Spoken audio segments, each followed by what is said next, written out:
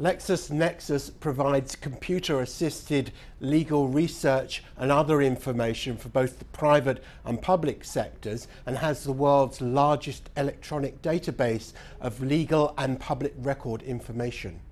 I spoke to Vijay Raghavan, the Chief Technology Officer of the Risk Solutions business of LexisNexis. To start with, he told me more about the company and how, as a digital pioneer, LexisNexis was the first to bring legal and other business information online long before anyone was talking about big data. We have a wealth of data that we've aggregated from a variety of sources and that we've got contributed, we've got contributed data as well.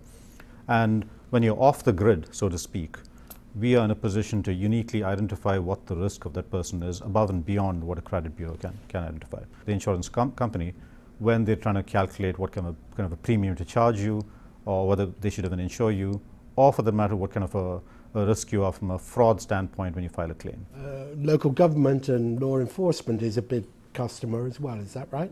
One of the things that we do very well is to find patterns among the data that we have.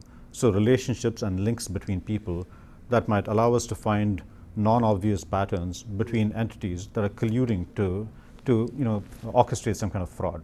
And that's in the government space, that's in the private sector space, in insurance, financial services across the board. That's pretty interesting. It is. I guess nowadays this would all be termed part of big data, but from your perspective, you developed this for your internal uses and then began to. Uh, we, we like to say that we came up with a big data solution long before it was called that.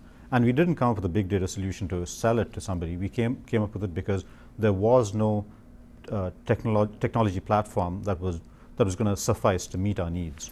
And so we invented this HPCC, the High Performance Computing Cluster, as it's called, which is a way to aggregate and collect and ingest massive volumes of data. And when I say massive, we're talking about tens of billions of records across tens of thousands of disparate sources so it's large volumes, a variety of data, very unstructured, put it all together and link it. Uh, and, and the term link it seems very innocuous, but it means comparing those billions of records against the same billions of records to know beyond a shadow of a doubt that these 387 records belong to you.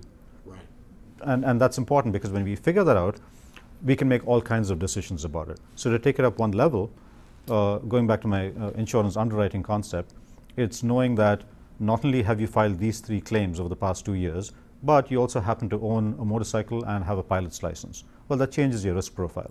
Or in the context of credit risk, even though you're a recent uh, immigrant or have just graduated, uh, the, the, fact that you've paid your utility bills on time or have not, that gives us some information about you. That's where big data comes in and how we, why we invented it and how it meets our need. Is the technology that you've developed, do you see a market for that outside of your own business? We figured that it was in our best interests to take the platform itself and, and the language that we, that we have built on top of the platform and, and open source that because it made sense for us to be able to have other people take a look at the platform and contribute to it and grow the platform a little bit more. How, uh, how much of a threat are the sort of various uh, privacy initiatives that you know exist in, especially perhaps in Europe? Do you see that as potentially curtailing the growth of, of businesses like your own?